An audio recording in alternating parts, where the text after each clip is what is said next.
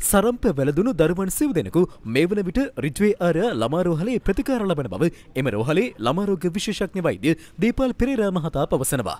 ඔහු පැවසුවේ ප්‍රතිශක්තිකරණය නොවූ බොහෝ දරුවන් අතරේ යළිත් සරම්පරෝගය පැතිරයමින් ඇති බවයි. අදට ළමාරෝහලේ සරම්පරෝගින් හතර දෙනෙක් ඉන්නවා. විශේෂයෙන්ම ප්‍රතිශක්තිකරණය ගත්ත නැති දරුවන්ට තමයි මේ රෝගය බෝ වෙන්නේ. කරුණාකරලා කියන්නේ සරම්ප එන්නත අරගෙන නැත්නම් ඒක වහාම ලබා ගන්න. අපි ඒක රජ රෝහල් වලින් මාස 9 දීත් අවුරුදු 3 දීත් ලබා දෙනවා. සරම්ප රෝගයේ ලක්ෂණද ඔහු පැහැදිලි කළා.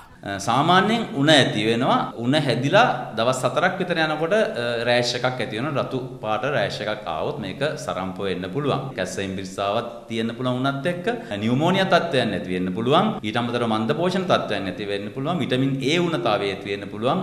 බොහෝ විට මේවා සුව කරන්නත් බෑ හැදුනොත්. ඉතින් ඒ තත්ත්වයන් ඇති වෙන්න පුළුවන් ලක්ෂයකට එකකට විතර. ඉතින් ඒ නිසා සරම්ප රෝගය සමාජයක ව්‍යාප්ත වුණොත් කාලයක් ගිහිල්ලා අපිට හොඳ කරන්න බැරි රෝගයක් පවා ඇති වෙන්න පුළුවන් කියන එක මම හිතන්නේ දැනුවත් වෙන එක හොඳ.